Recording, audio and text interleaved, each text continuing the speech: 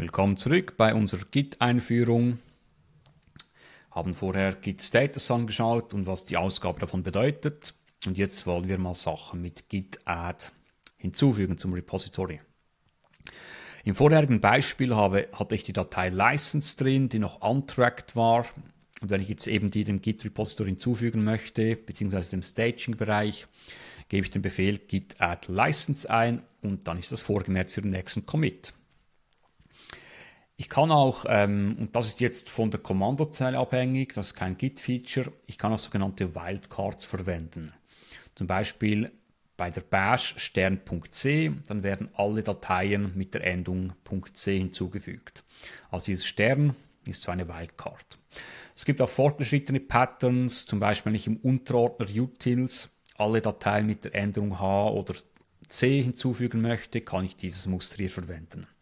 Das ist jetzt ähm, Shell-spezifisch, das müssen Sie nicht wissen, also nicht können. Es ist einfach gut, wenn Sie wissen, dass es das gibt, wenn Sie mal ähm, viele Dateien nach einem bestimmten Muster hinzufügen wollen.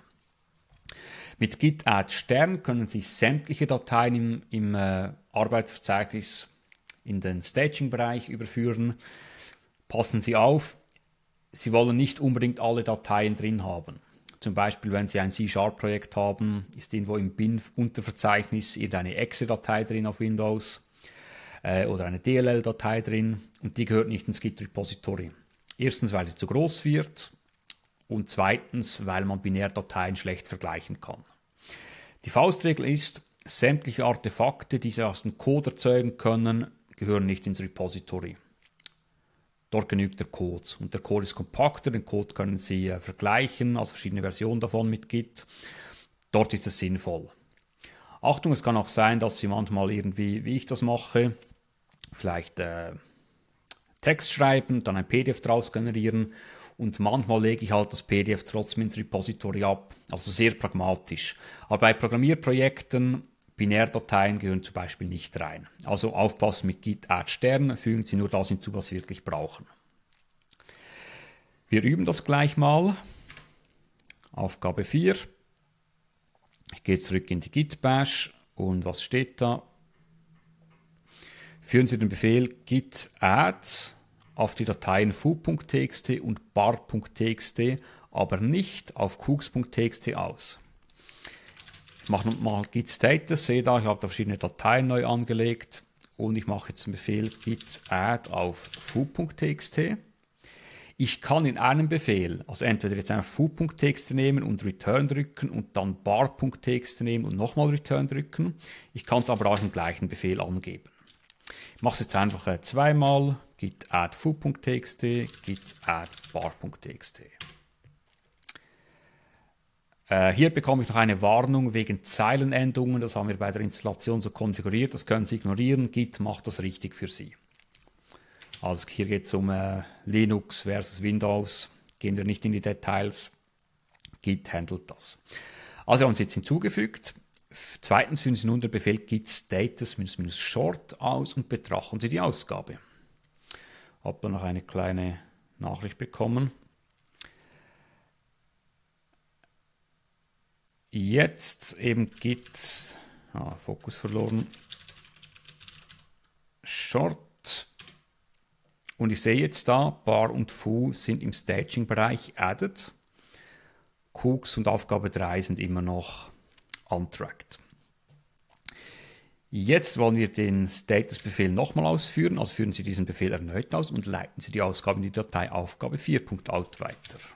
Aufgabe 4.out. So, ls wurde erzeugt, Aufgabe 4.out. Welche Unterschiede fallen Ihnen gegenüber Aufgabe 3, Aufgabe 3.out auf? Dokumentieren Sie diese in der Datei Aufgabe 3.4 diff.txt. Okay, wie machen wir jetzt das? Ähm, am besten geben wir einfach mal die Dateien mit cat wieder aus. Cat Aufgabe 3.out und cat Aufgabe 4.out. Also das sind die Unterschiede. Erstens natürlich, Aufgabe 4.out wurde erzeugt, aber wichtiger ist hier bar und sind nicht beantragt. Bar und Fuß nicht untracked, sondern jetzt haben ein A-Links äh, wie added oder staged. Interessant ist auch, Bar und Fuß sind jetzt weiter oben. Also es ist nicht nach Dateiname sortiert, sondern eben auch nach Zuständen.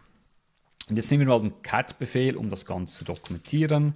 Wir schreiben das nach Aufgabe 3.4 diff.txt.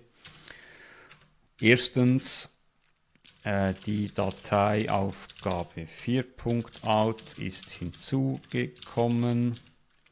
Zweitens, die Dateien äh, foo.txt und bar.txt oder umgekehrt in der Reihenfolge ähm, sind nicht mehr untracked, sondern staged.